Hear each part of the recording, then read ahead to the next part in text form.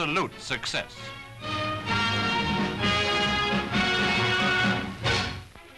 Seen last December at a port in Western Australia, German prisoners coming ashore.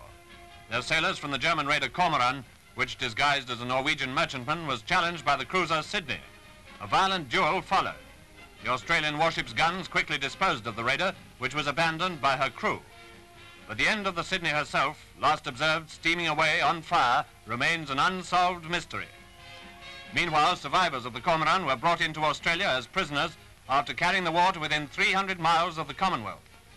This was just before Japan came in and started her three months of unbroken success.